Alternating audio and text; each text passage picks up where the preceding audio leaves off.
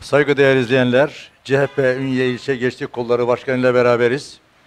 Sayın Cumhurbaşkanı'nın gençlerle yaptığı söyleşide oy moy yok sözü üzerine CHP Ünye İlçe Gençlik Kolları, Kolları Başkanı Gürsoy Akın bir açıklama yapacak. Hep birlikte izleyeceğiz.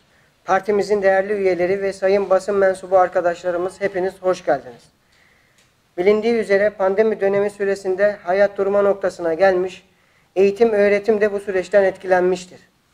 Birçok kişinin hayatının etkileneceği yüksek öğretim kurumları sınavı önce ertelenmiş, daha sonra ise tarih değiştirilerek öğrencilerin tepkisiyle karşılaşılmıştır.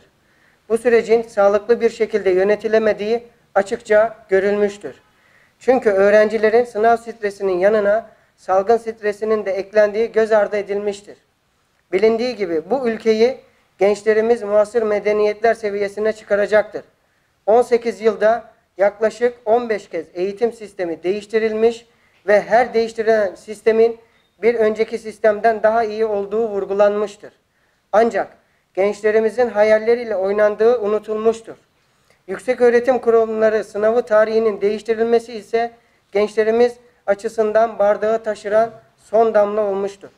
Cumhurbaşkanı Erdoğan, yüksek öğretim kurumları sınavı öncesinde öğrencilerle video konferans yöntemiyle görüşme yaptığı esnada öğrencilerin oy moy yok, sandıkta görüşürüz şeklinde protesto, protestosuyla karşı karşıya kalmış ve yaklaşık 300 binin üzerinde dislike almıştır.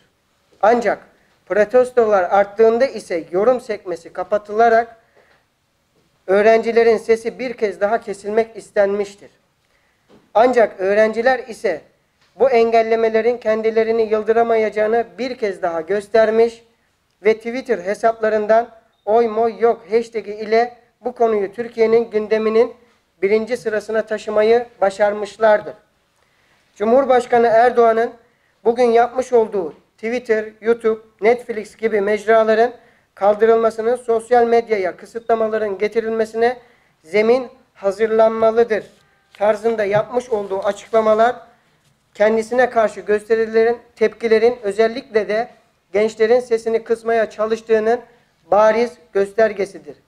Unutulmamalıdır ki gençlerimiz bizim geleceğimizdir. Genç nüfusta işsizlik oranı %25,4 ile en yüksek seviyelerine ulaşmıştır.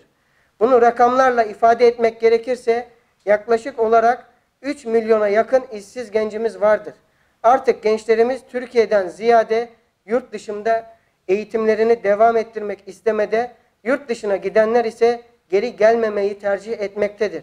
Bunun nedeninin gelecek kaygısı olduğu malumunuzdur. Özgürlük alanlarının ihlal edildiğini düşünen, kendini mutlu hissetmeyen ve geleceğinden endişe duyan birçok gencimiz bu yola başvurmaktadır. Sayın Cumhurbaşkanı'nın ilgilenmesi gereken konular bunlar iken kendisine yapılan eleştiriler üzerine yorum sekmesinin kapatılmasını takdirlerinize sunuyorum. Bilinmelidir ki her ne kadar engellemeler yapılırsa yapılsın bizlerin sesini kesemeyeceksiniz. Ulu önderimiz Mustafa Kemal Atatürk'ün de dediği gibi bütün ümidim gençliktedir sözü her an aklımızdadır ve bu ümidi asla boşa çıkarmayacağız. Hepinize teşekkür ediyorum.